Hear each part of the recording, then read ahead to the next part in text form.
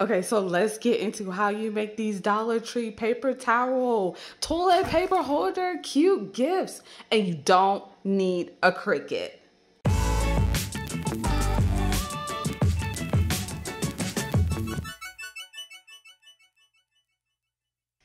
Okay, so let's get started. You do not need a Cricut to create this gift.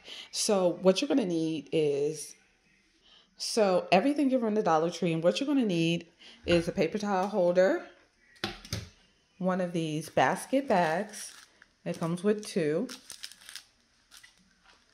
A gift bag or stocking, a pair of scissors, a bow. I picked out the two pack. I already used one of the bows. Some tape, a rubber band, and a paper towel roll or two uh, rolls of toilet paper. So what I'm going to do is I'm going to cut out my Santa and I'll be right back. The great thing about this gift is you can get two out of one gift bag. You can get two out of the basket bags and you can make two out of the bowls just from, you know, buying those items. So I made my first one. I'm on my second Santa and yeah, this is just really, really simple. Okay, so I cut out my Santa, little rough cut, doesn't have to be perfect. And you're gonna take your paper towel and put it on the holder. I kind of like to leave the plastic, I'm to do just a little bit, leave the plastic on it. And then I'm going to, if there's a label, I'm gonna put my Santa around the plastic part with the label. And I'm just gonna tape it.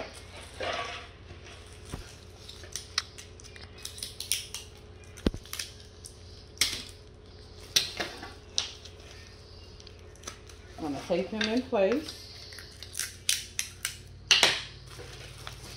Cover up the label. The back is pretty much okay. And then I'm going to take my bag. Now with the bags, the bags run a little big. So what I'm going to do is after I put my paper towel holder in there, cut the top of my bag so it'll fit I want the corners to be at the corners because we're going to fold back the sides when we're done. So I kind of like gather it. Hold it up just a little bit.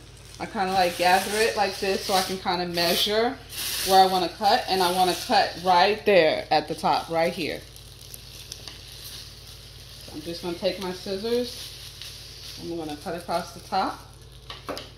And then this is where you're going to take your twisty tie or your rubber band and you're going to secure the top.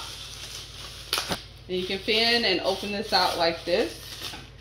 And then you're going to take your bow. Sometimes they're kind of tricky to take off.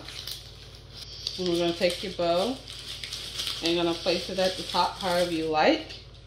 And then take a couple of pieces of tape and you want to secure your bow down. Just like that. And then the corners, you're gonna tape them. Let's see if I can do this with one hand.